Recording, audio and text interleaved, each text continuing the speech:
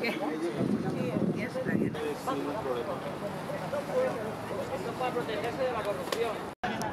Ilegalizar al Partido Popular.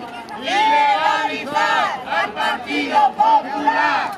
Aquí estamos protestando por el saqueo que hemos sufrido en nuestras ciudades, en nuestro país.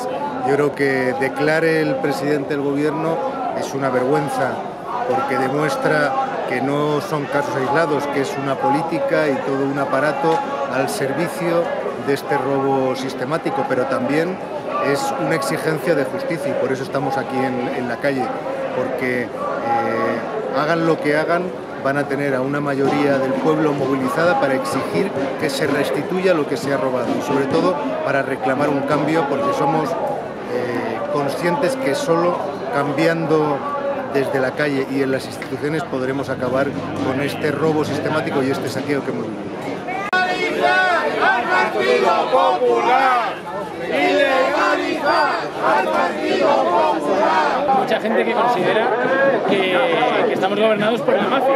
En concreto, el PP es la mafia que además eh, detenta ese gobierno y Mariano el jefe, ahora mismo el, el principal jefe de esa mafia. Y la prueba es que está declarando por- como testigo por corrupción. O sea, que él, que era el presidente, eh, era testigo de que había esa corrupción y no hizo nada.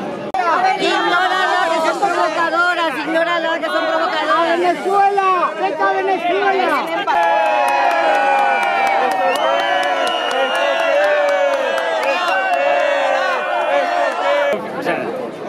O sea, la mafia tiene todos los estamentos eh, a su favor, todo el régimen es mafia y entonces están funcionando a su favor.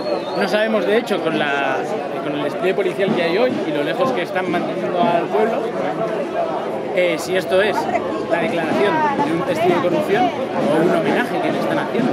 Porque, porque la protección y, el despliegue a su favor y se hablaba de que iban a salir a recibirle y sentarle en un sitio especial y tal. eh, jefe